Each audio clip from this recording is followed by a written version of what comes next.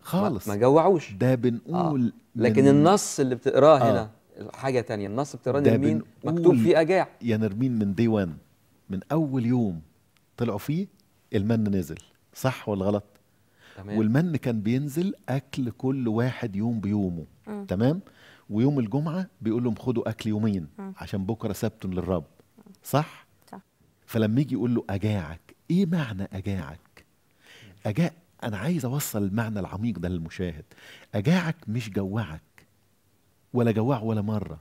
مم. هو عايز يقول له ما جعلش مخازنك ملقانة. يعني إيه؟ خد بالكم الفرق الفرق بين الاثنين تاني ما جعلش المخازن ملقانة. ما أنا بسألك سؤال هو جوعه؟ افترض دلوقتي إن ربنا بينزل لك أكل يوم بيوم. جوعك؟ لا, لا. لا. تمام؟ ليه؟ ليه كان بينزل لهم أكل كل يوم بيوم؟ ليه؟ عشان نوصل بس لكماله النص ويبان. إن أبقى كل يوم أنا مرتبط بالرب. أنا بصحى من النوم بتعلم إن اللي اداني النهارده هيديني بكرة ومش هيسيبني بعد بكرة عشان يدربوا على الاعتماد الكامل عليه. الاتكال الكامل عليه.